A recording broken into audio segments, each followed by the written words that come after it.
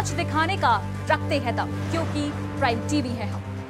राहुल यादव प्रधान प्रतिनिधि ग्राम चंदवारी जनपद झांसी की ओर से समस्त प्रदेश व देशवासियों को नव वर्ष की हार्दिक शुभकामनाएँ। राजकुमार सरपंच ग्राम पलोथर जनपद झांसी की ओर से समस्त प्रदेश व देशवासियों को नव वर्ष की हार्दिक शुभकामनाएँ।